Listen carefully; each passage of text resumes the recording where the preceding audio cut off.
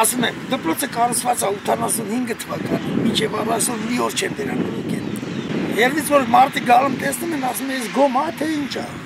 Իսկականից գոմի նման է։ Տելեֆոնները փակում ենք։ Լուսամուտները որ ձմեռը ցուրտ չլինի։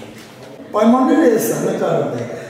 Անտանելի վիճակ։ Օրական ամեն երեխան 2 կիլո թոզախ կուլ տալիս։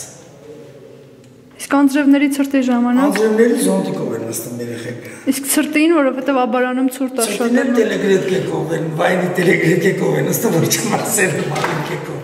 Այսպես է կամի ապչան։ Ա։ Եթե ներտելից կամի փչի է ինչ տականը։ Ուզում ես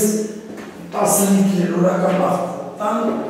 սևան փչի տակասում։ Ընդից կաթմա, ստից փչմա։ Լուզամուտից փչմա։